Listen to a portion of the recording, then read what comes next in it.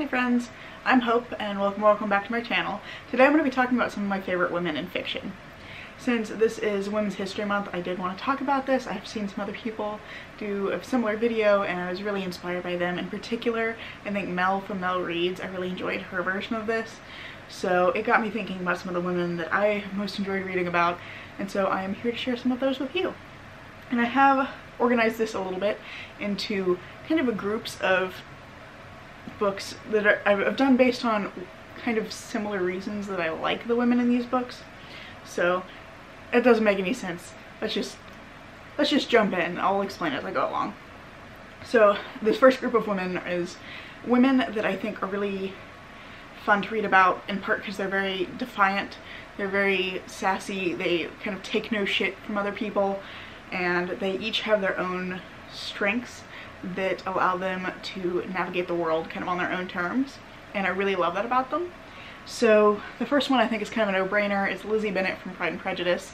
I just love the way that she insists upon choosing how she wants her life to be. She is kind of got these social pressures from the time and also obviously the financial pressures for her family to marry well, but she's not willing to marry someone just for their money or just to appease her family. She very much is adamant about marrying somebody that she loves and I think that that was uh, part of why I love this book so much.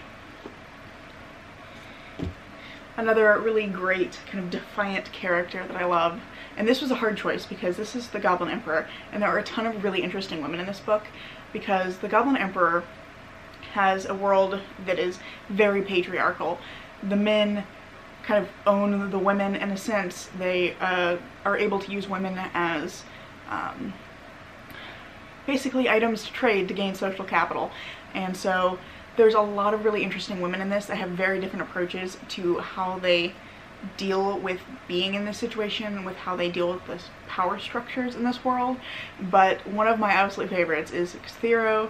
I can't think of her last name right now but I just love her because she is so kind of similar to Lizzie Bennet. She's kind of not willing to take any shit from anybody and unlike Lizzie Bennet, she doesn't have quite the same leeway to decide her own fate. So she is engaged to somebody in this book, but she she does get to decide how she behaves towards her fiance and how she's willing to engage in his world and so I think that that is a really interesting element of this and like I said there's a lot of women that are finding different ways to deal with power structures here but I think that Csethiro is really a interesting um, version of that. I love her a lot. Also, if you haven't read this, just read it. It's really good. There's so much to talk about in that book. It's going to come up a lot from now on, basically. And next up I have Circe from Circe by Madeline Miller. And I love Circe because she is very defiant. She's treated poorly when she's growing up by her father and her other family members because she's not like them. But she is very strong-willed and I love that she's also very flawed. That she's not necessarily always a good person, but she always lives life on her own terms and you always understand her reasons for the things that she does. And so I think that that is just a really fun dynamic to read about. I love how strong-willed Circe is. And again, she's not this perfect person. She's not even necessarily a good person all the time. But that you totally understand where she's coming from. And I find it very easy to root for her. Regardless of whether she's a good person or not. Because I root for her ability to live her life the way that she wants to live it. And then last in this category, I have for from the ACOTAR series. There's a lot of women here I could talk about, but my favorite is Alis. She is a side character. If you haven't read ACOTAR, Alis is a minor side character, but she is one of the women working in the spring court and she becomes friends with Feyre and I just love Alis because she gives Feyre great advice. She doesn't let Feyre take shit. Like Alis not only is like very strong-willed and very protective of her nephews, she also it kind of guides Feyre to behave similarly or guides Feyre to not allow the men or the males in the court to kind of walk all over her. And so I really enjoyed Alis and her dynamic with Feyre. I love her a lot. The next couple of books are all books that have women that I think have really interesting journeys of growth. I really enjoyed watching them kind of become the people that they wanted to be, that they were intended to be, and so it's just really, um, it's fun to watch that dynamic of their growth across the book.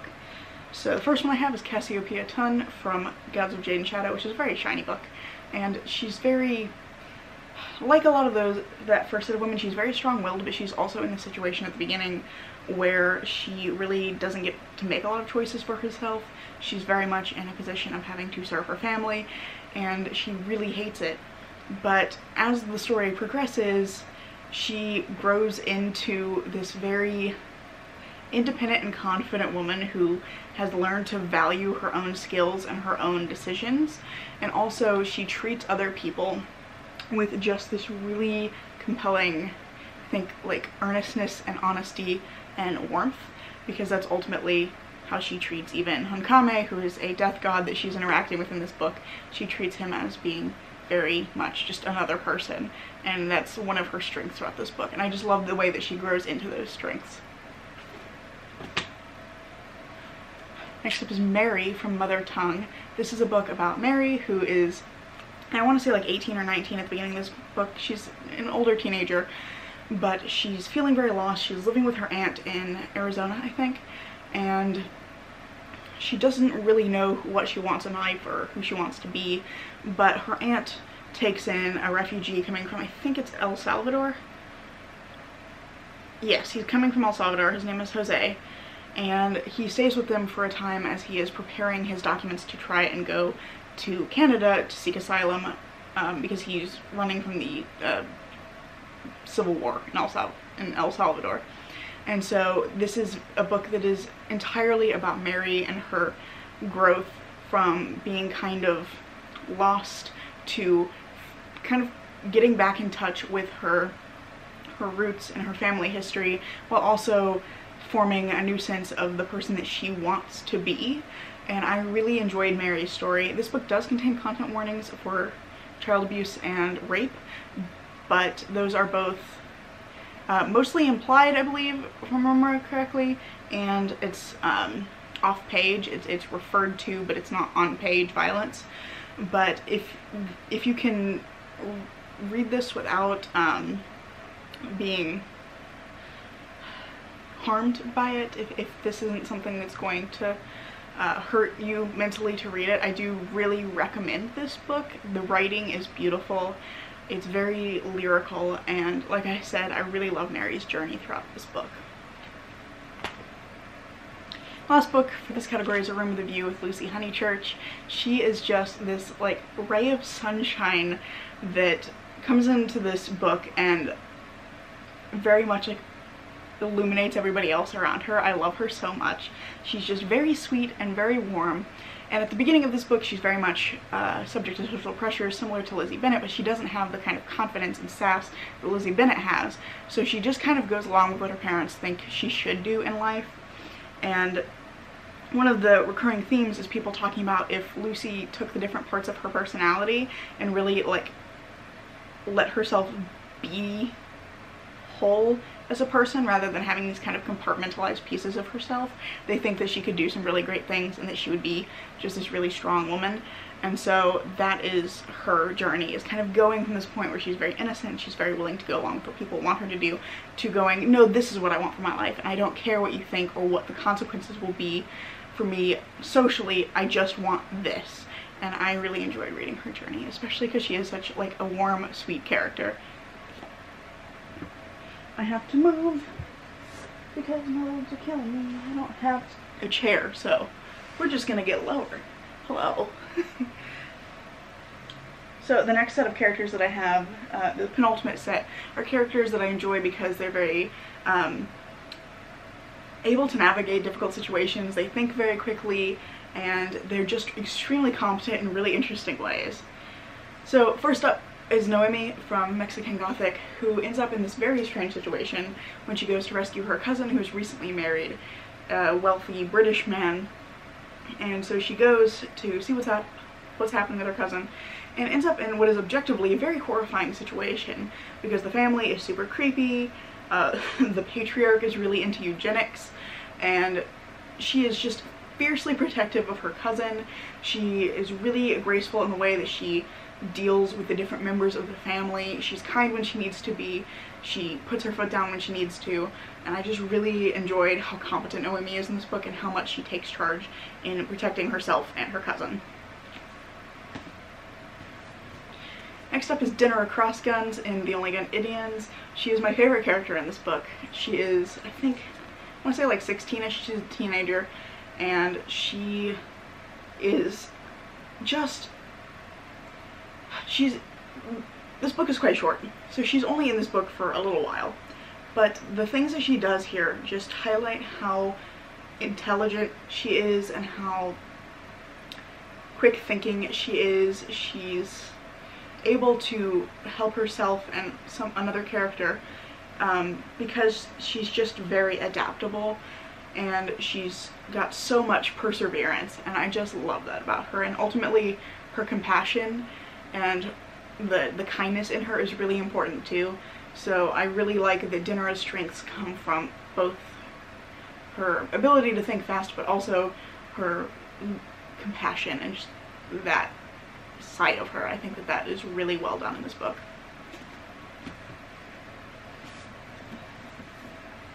look at my list. Next up I've got Mahit and Three Seagrass from a memory called Empire by Arkady Martine. Mahit is the main character, she's an ambassador, and, Ma and Three Seagrass is her uh, aide that's assigned to her when she arrives at the capital of this empire of Teixcalaan.